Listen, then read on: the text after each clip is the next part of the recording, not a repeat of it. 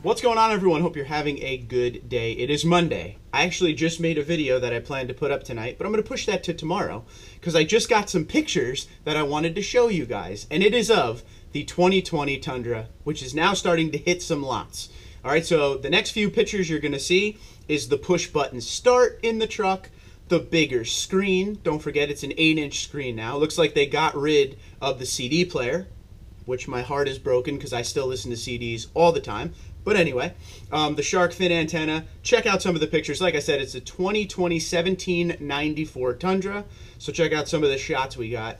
You're also going to see Apple CarPlay on there, which I know is going to make a few of you happy. So check it out, and we'll come back and talk about it.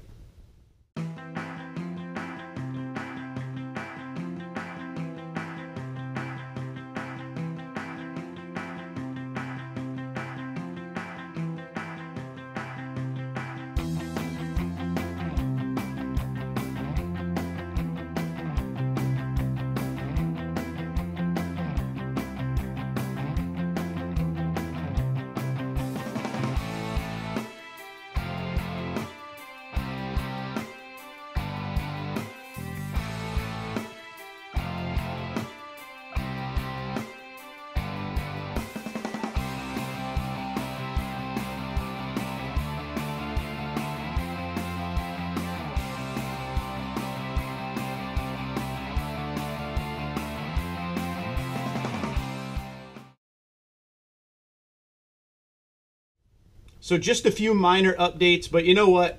There's some updates that were totally needed. Like we said, so there's no more antenna um, on the side fender next to the hood. That has been going away on vehicles for a long time. We have the shark fin on top, as you saw in the pictures, so that's pretty cool. Push button start. I like where they put it. It looks integrated. It looks normal. You also saw a picture of the handle with the little thing on the front that you could lock it and unlock with when you grab the handle. Um, the screen is only one inch bigger, but it looks really good to me. And I like that they kind of changed the Entune a little bit. Um, it's It looks like, don't quote me on this one, but it looks like it won't be uh, an issue with glare like it's been in the past because I don't know about you, but in my 2017, the only time you could see the screen is at night or dusk or dawn. You can't really see it in the middle of the day. It just never looks sharp at all. This actually looks pretty sharp and pretty good.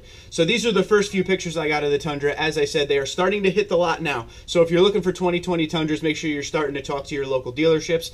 Um, they go, you know, region by region, so you might not see some for a couple weeks. But if you look around, you'll start to see them pop up. So let me know, are you interested? Are you happy with some of the upgrades they did to the 2020 Tundra? Or are you just waiting at this point for the next generation? Let me know what you think. Uh, Twitter and Instagram, at Tundra Dude34, Tundra Dude34, gmail.com. Have a great one.